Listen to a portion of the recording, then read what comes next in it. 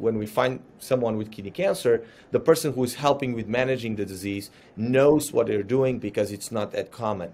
And the treatments, to your point, so chemotherapy never works, and that has to do with the ra- rate of replication. The turnover is not super high, right? So that's one part. And then they tend to be radio resistant, although we do use radiation at higher doses to kill those cells, right? And then as far as treatment, medical treatment, to your point, in general, we have these two groups target therapy and then immunotherapy. And, and then you said most of the times target therapy includes drugs that block the vessels. So we call that angiogenic drugs, uh, anti VEGF. Um, we also use other target therapies that we use in other tumors. They're called mTOR inhibitors, uh, but those are they have a limited role.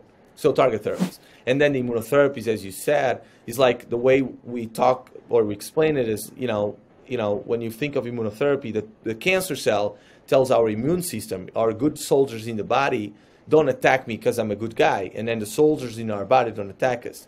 But then when you bring those drugs, those immunotherapy, they block that signal. So they allow our, our soldiers to look at the cancer cell. And even the cancer is trying to tell them, I'm good, I'm good, and attack me. The, the, the, the good guys, the immune cells, are going to still attack cancer. So they work indirectly. They don't act against the right. tumor, they help to boost our immune system against tumor, right? So we have those two class of agents, I guess. How does that work at the molecular type? You know, it does look like we have or we tend to have an angiogenic profile, uh, meaning tumors that are more sensitive to angiogenic drugs.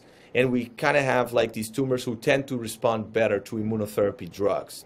But there's a big group in the middle, which you know, if we talk, we start talking about gene expression signatures, gets a little bit complicated, where tumors are don't seem to be responsive to one or the other, and that's when we start to combine them. You try the other stuff, and and but in general, we've been playing around with these kind of agents for you know target therapies for like over 15 years now, and immunotherapy for like seven, eight years now uh, with, with success, but that's a lot to be done still.